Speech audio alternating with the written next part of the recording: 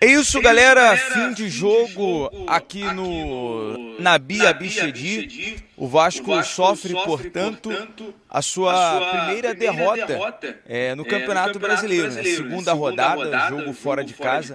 Todos nós sabíamos, né, Fabinho, que seria um jogo difícil, seria um jogo muito complicado, até pela qualidade que se tem. O time do Red Bull Bragantino, você acompanhou o jogo deles no último sábado contra o Fluminense. Mas, galera, fique aqui conosco, compartilhe, deixe o seu like. O Fabinho estava agora estava agora alguns instantes, com o técnico, técnico Ramon, Ramon Dias, Dias, e ele, e ele trouxe, trouxe, até um pedido, um pedido né, de, né, desculpa, um esclarecimento, pelo, pelo, que ele falou, que ele falou na coletiva, pós-jogo, pós ele pôde esclarecer, esclarecer com mais com detalhes, detalhes né, dando, a entender o que ele, que ele quis falar, falar realmente, realmente ali na coletiva, ali na coletiva após ser perguntado em relação ao VAR, em relação à arbitragem, já já você vai acompanhar. Por isso nós estamos trazendo todos aqui num plantão urgente, nós estamos estamos diretamente, aqui, aqui, do estádio, estádio na Via Bichedi. O Fábio, você, Fábio, estava, você estava ali com, com, com, o Ramon, Ramon, ele chamou, ele a, galera a galera da imprensa, da imprensa e pôde esclarecer, esclarecer melhor sobre a sua sobre fala. Né? Até, né? Até costumo dizer que o Ramon, nas suas coletivas, ele fala muito rápido.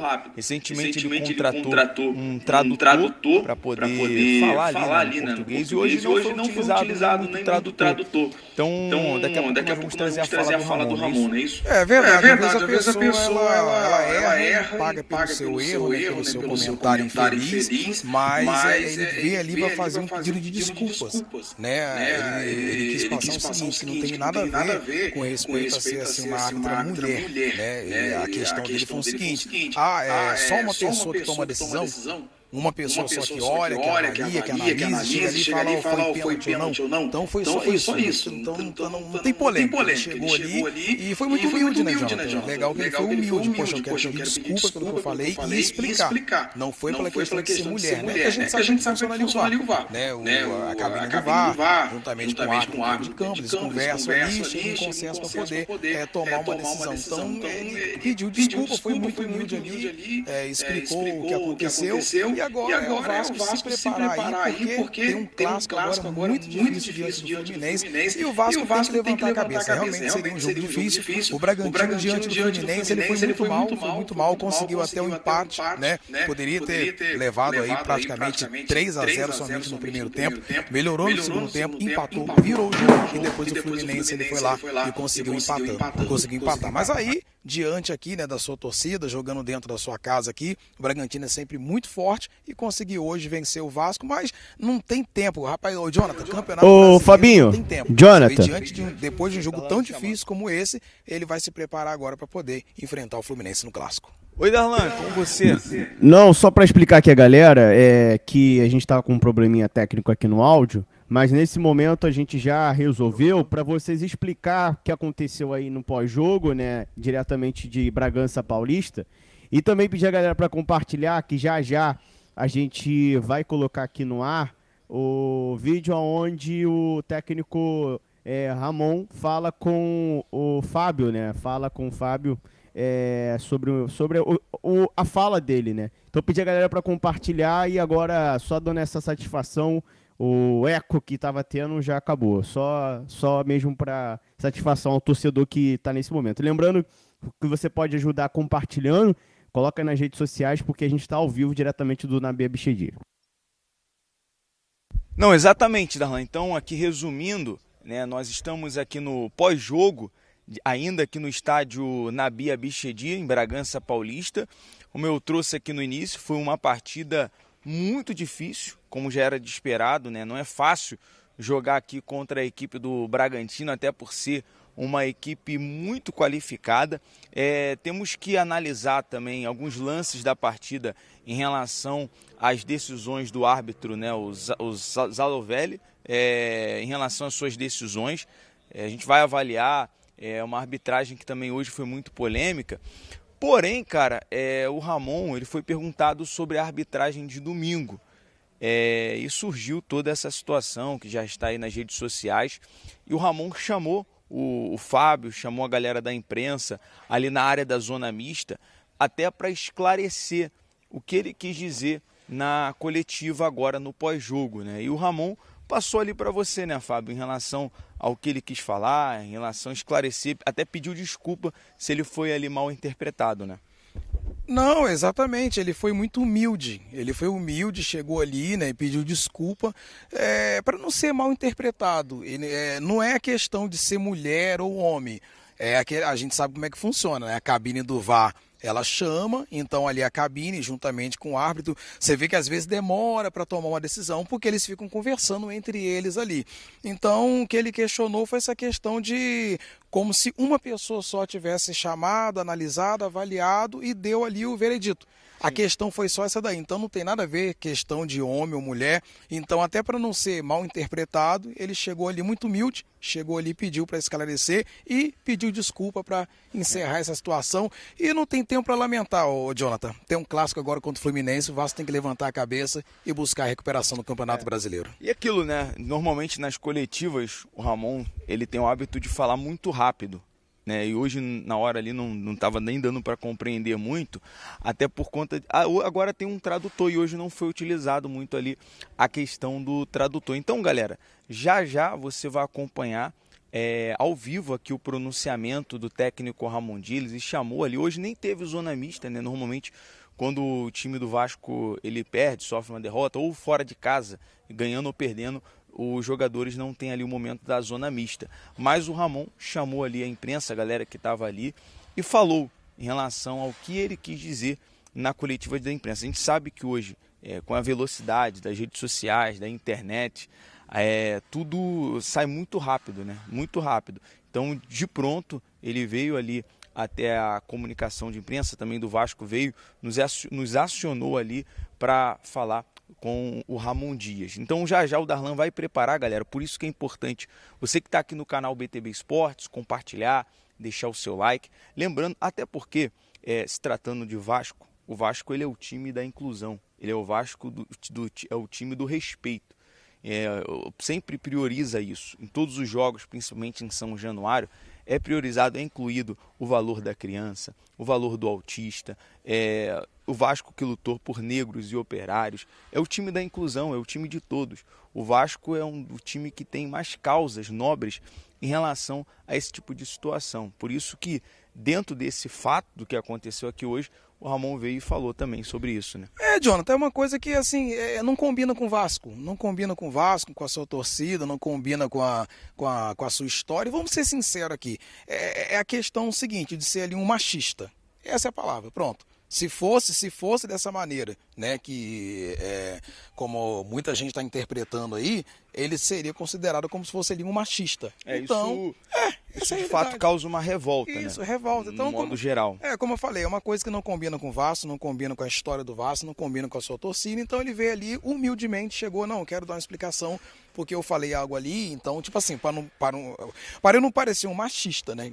É, a questão não foi ser uma mulher ou um homem, poderia ter sido ali um homem. O negócio é o seguinte, poxa vida, é, tem que ter ali um, uma conversa ali entre o árbitro de campo Jonathan, e Fabinho. o VAR para poder chegar ali a uma decisão final. Não uma pessoa, se for homem, se mulher, não importa. Não uma pessoa chegar ali, avaliar tudo, analisar, chegar ali e dizer que foi pênalti ou não. Então, essa é a questão aí. Como eu falei, é uma situação que não combina com a história do Vasco da Gama. Ô, Fábio, se você você puder já pegar a participação da nossa galera aqui no chat. Ô, Jonathan. É, nós estamos até aguardando o retorno do nosso parceiro Darlan, que já está preparando esse vídeo. Jonathan. Esse vídeo é basicamente exclusivo, né? É, tinha poucos, poucas, é, pouca mídia, né? Três mídias ali que cobrem o dia a dia do Vasco, falando com o Ramon. Já estamos com 130 aparelhos conectados. Nesse plantão urgente, virou um, um pós-jogo com um plantão urgente, né, Fábio? E falar um pouco também do jogo, só que enquanto a galera está comentando, já estamos aí com 130 aparelhos conectados, portanto, tá aí a, a foto, Darlan já preparou a foto, no exato momento que o Ramon chamou a gente, chamou o Fábio, falou em relação a esse pronunciamento. Mas, Fábio, enquanto o Darlan não solta Jonathan, tá do, me ouvindo? Ramon, é, falar um pouco do jogo de hoje. Na minha opinião, um placar muito injusto, até por conta de erros da arbitragem. Nós vamos daqui a pouco fazer uma avaliação com os lances que teve de impedimento ali no Rossi, é, lances que teve é, com um possível pênalti também, enfim, várias situações que ocorreram que poderiam mudar o teor da, teor da partida.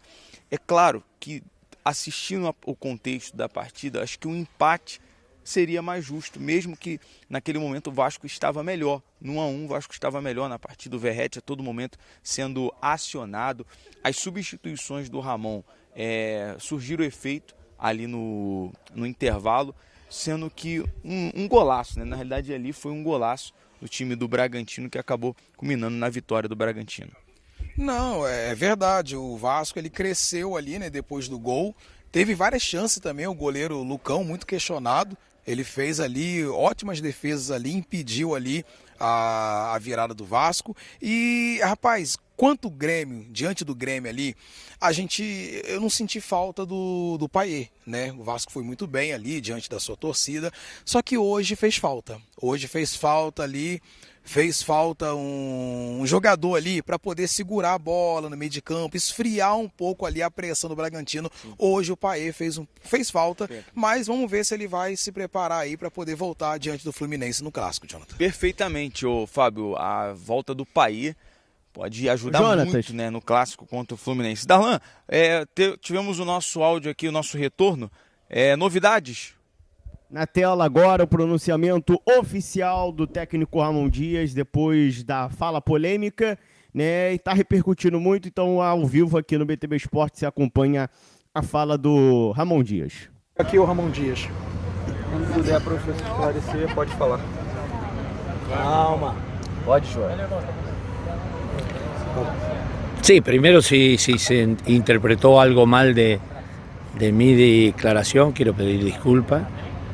Eh, pero me pareció que lo que quise decir yo es que, que, una sola persona no puede decidir tener una decisión tan importante como es en el fútbol y que es la participación del VAR en, en las decisiones tan importantes que hay en juego en todo. Si se interpretó mal, pido disculpas, pero no es mi intención. Un saludo a toda la gente de Vasco y que vamos a seguir luchando. Un abrazo grande. Esclarecido, pessoal. Obrigado. Okay. Obrigado. Portanto, tá aí o pronunciamento oficial. É, o nosso correspondente Fábio Rangel, Jonatas Santos, trazendo em primeira mão essa informação para você, torcedor. Fala, Jonathan. É, Darlan, acredito que com essa fala do, do Ramon Dias fica mais esclarecido né, o que ele quis dizer ali na, na coletiva é, no pós-jogo. É, o Vasco que agora segue viagem, né? o Vasco costuma ficar em Atibaia, é, no Hotel Bourbon, se preparando para o clássico de domingo. Mas acredito, Fábio, que está aí, portanto, esclarecido aquilo que o Ramon quis dizer, né? Não, esclarecido, é, não tem polêmica não. E por falar no, no Vasco, né, o time saiu daqui, deve ter uns 15 minutos, né, que o time já saiu. Então não tem polêmica. E por isso que ele chegou ali, pediu para, né, se desculpou e ele fala, né, uma pessoa, uma pessoa não pode decidir. Aí, como for uma mulher, aí acabou suando aquela questão, como se fosse assim meio machista. E como eu falei, é, não combina com o Vasco, não combina com a sua torcida, não combina com a sua história. E, Jonathan, é, não tem que focar nisso aqui. O Vasco tem que treinar agora essa semana, se preparar, porque vai ter um jogo muito difícil aí diante do Fluminense. Claro, no Maracanã, a torcida do Vasco tá sempre lá. Cara, Maracanã não, você viu aqui, tá aqui, né, o setor aonde ficou aqui a torcida do Vasco, assim, lotada, é, cantou muito, apoiou muito. Não, a torcida hoje, o, Jonathan, é, vamos dizer assim, aqui não teve pressão. É um estádio aqui que hoje não teve pressão, teve muito torcedor do Vasco aqui, teve um total de 5 mil, né? Apenas 5 mil estádio aqui, é, não é um estádio assim muito grande, né? Então não teve assim aquela pressão da parte do Bragantino. Era um jogo que o Vasco poderia ter vencido, sim. Infelizmente, ah, a gente também não pode deixar de falar, né, Jonathan, da, da falha do Léo Jardim. É um ótimo goleiro, tem muito crédito, estava na seleção agora, mas né, falhou, acabou né, falhando ali na, no primeiro gol do Bragantino. Mas eu estava vendo aqui os comentários aqui dos torcedores do Vasco, e a galera assim, chateada né, né, pela falha, mas dizendo, tem crédito, tem crédito, tem crédito, então agora é se unir. Tem que se unir agora, esquecer essa polêmica. O Ramon já chegou aqui, explicou a situação dele, pediu desculpa né, pela situação.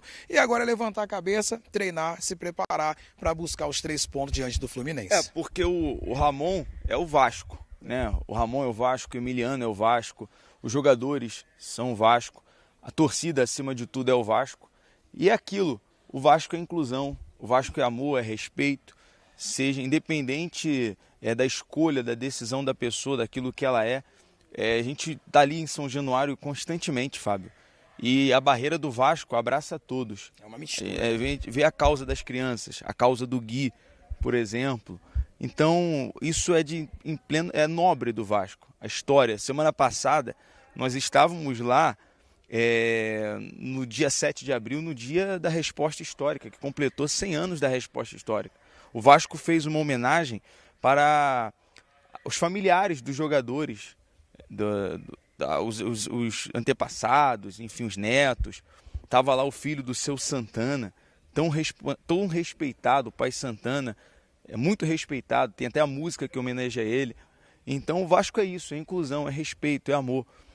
E por isso a gente traz aqui a fala do Ramon Dias, encerrando aqui o nosso pós-jogo, né? Falando um pouco do jogo. Até porque também, não sei se dá pra galera ver, já tá começando a é. chover também aqui. Garoa, né? E é uma distância aí pra galera ver aí, ó. Pô, até um pra lá, um pra cá, pra galera poder ver como é que tá aqui. A gente tá é. dentro do campo agora, né? E aí o carro tá longe aqui no estacionamento. É São Paulo, né? Terra da Garoa. É. Tá começando a chover aqui agora, então a gente vai se preparar para pegar a estrada, né, Partiu Rio de Janeiro. Partiu Rio de Janeiro agora, não tem descanso não, vambora. Então é isso, galera. Darlan, você quer falar mais alguma coisa? Não, é só isso mesmo. É pedir a galera para que não é inscrito no canal se inscrever, deixar o like e ficar ligado nas nossas redes sociais, que vamos soltar também lá na íntegra, tá certo? Lembrando todos, BTB Esportes em todos os lugares. Valeu, Jonathan. Valeu, Fabinho. Informação dada em Valeu, galera. para o torcedor.